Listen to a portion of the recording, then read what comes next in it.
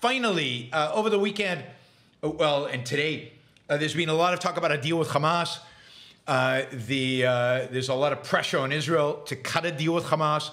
I talked about the defeatism last week. Well, defeatism is all uh, geared towards ultimately getting getting Israel to accept the fact that it cannot defeat Hamas, it cannot win the war, and therefore it must cut a deal. Uh, Hamas uh, issued this morning an 18-page document trying to justify what it did on October 7th. It is interesting because it is very much geared to the Palestinian. It seems to be geared towards convincing the Palestinian population that what it did was good that what it did was right, that what it did, the pain the Palestinian people are suffering as a consequence of what it did, is all worth it and all justified because Hamas had the, the, the good, the well-being of the Palestinian people in mind.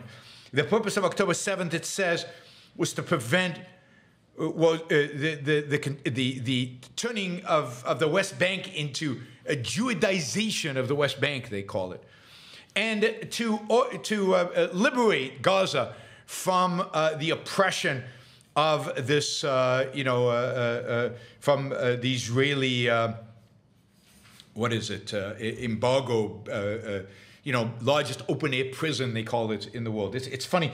I, have never, I, I, don't know any example in history where um, a, a, country and a political entity provides water, electricity, uh, food, uh, uh, you know, and, and, and everything else to an enemy sworn to destroy it.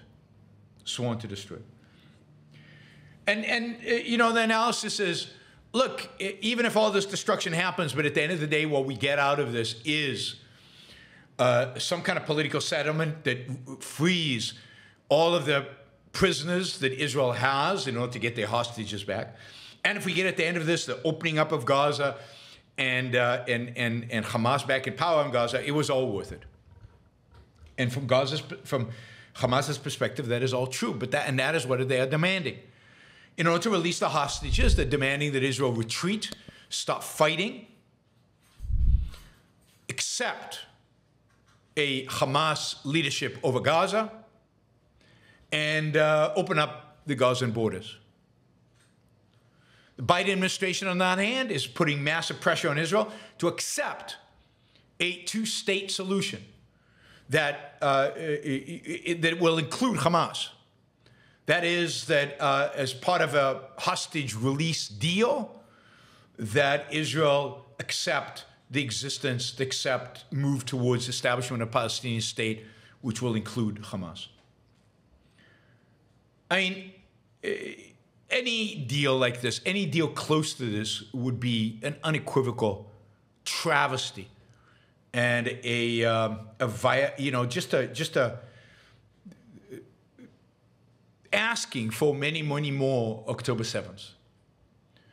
Uh, one of Hamas leaders over the weekend uh, did an interview in which he made clear that Hamas is not interested in a two-state solution.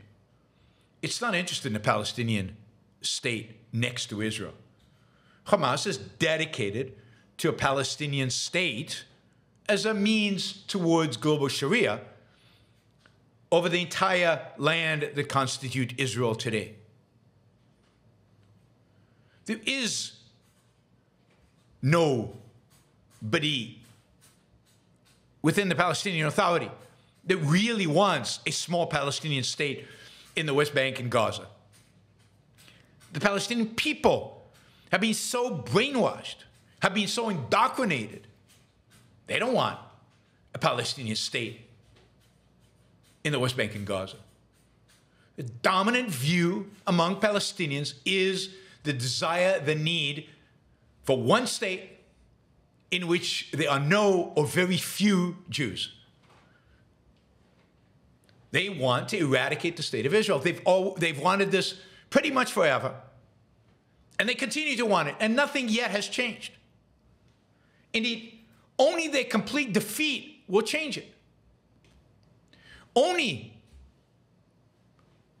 their complete subjugation in the short run will change it.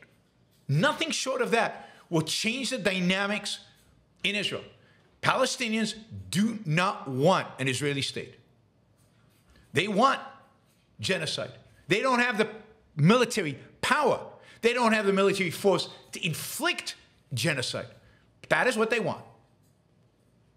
They want the Jews there, dead, or on ships, out. Talk about ethnic cleansing and all the other names you have for it. The real genocidal force in the Middle East are the Palestinians, the Iranians, Hezbollah. I mean, elements within the Islamic world. Israel would be suicidal to accept any deal, any deal that compromises with Hamas, even if it involves freeing the hostages. And the more Israel seems to be willing to talk about it, the more likely it is that um, the more it emboldens, put it this way, the more it emboldens um, Hamas. The more it emboldens all these people. Evil in the world. So uh, keep watching this. It's, it's only going to get worse. Uh, it's, um, uh, the world is slowly but systematically shifting uh, to its usual position, which is anti-Israel anti anti everything, and of course it is it is Netanyahu that has brought us to this state. It is Netanyahu that's given Hamas every reason in the world for two decades now to believe that just with enough pressure he will fold. He will fold. Hasn't folded yet. Hasn't folded yet this time because this time the thing that's different this time is that this time he's reading the, the Israeli public. And this time his read of the Israeli public is that his only chance of political survival is to say no to these deals. Now, as soon as that shifts, as soon as he gets a sense that his base, just like Trump's base, is willing to accept a deal if he signs off on it, he will do it like that. Like that. he is just like so many political leaders, it's no different really. He is an unprincipled, power lusting, compromising, I don't know, fill in the blank. All right.